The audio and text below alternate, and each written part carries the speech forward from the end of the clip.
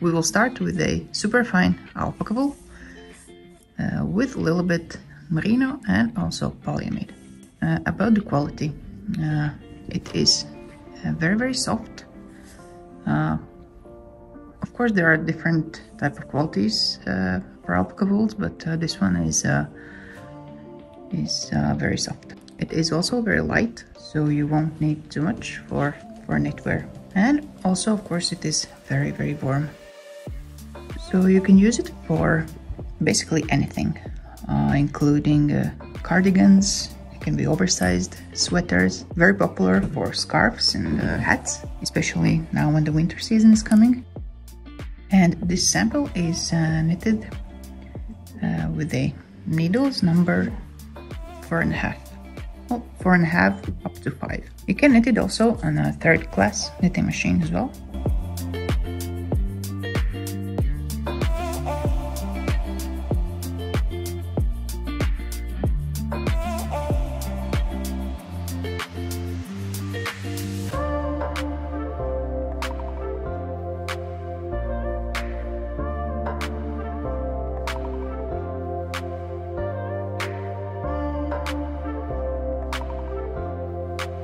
This is uh, actually black color mixed with a dark blue, so it is a little bit melange.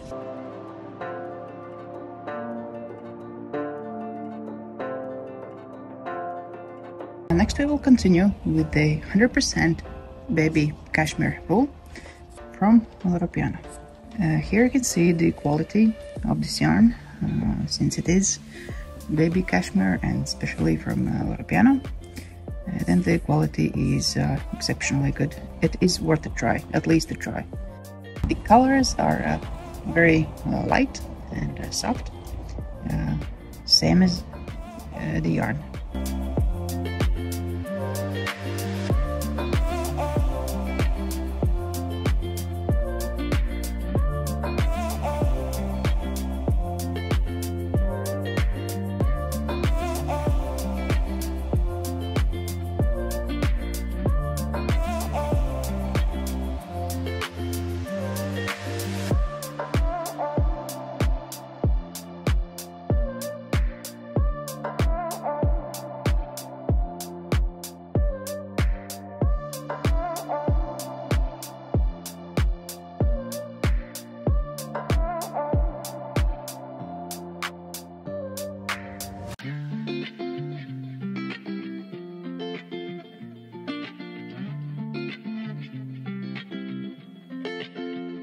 And we'll continue with the mohair and uh, mainly silk uh, mix.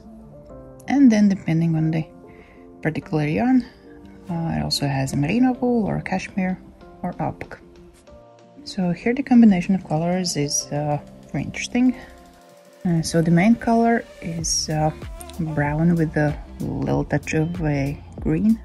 And also you can see there's a little bit blue color and golden uh,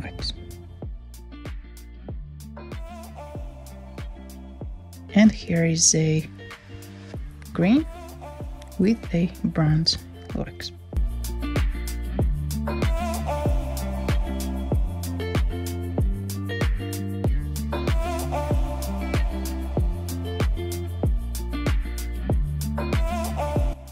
And this one is a blue with uh, a little bit green also uh, and without uh.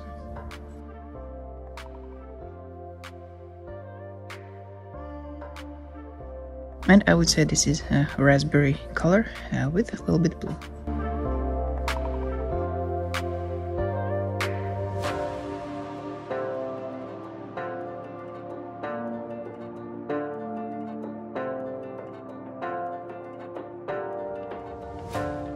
Next we have viscose, uh, which is metallic viscose, and this one is also multicolor and in two different thicknesses. Uh, so one is very very thin, uh, it is around 4000 meters per 100 grams. The other one is 950 meters per 100 grams. So you can use it in uh, many different uh, ways. Of course, you can knit it as itself, for example, for some uh, details, but you can also combine it. And here are some uh, examples how you can mix it together. This time we will show you how to combine this viscose with different mohair yarns.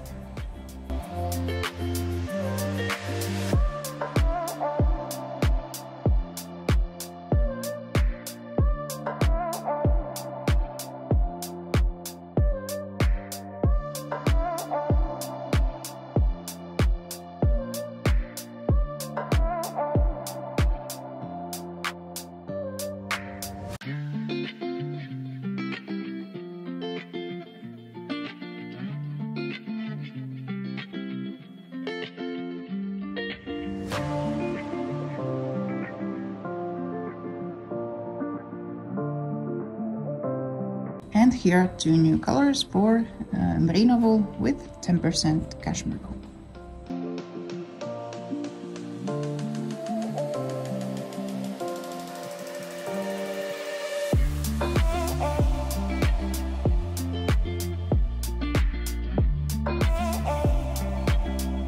And we also have a lot of new colors for uh, composition, which is uh, mohair wool mainly, a little bit merino wool, and also polyamide.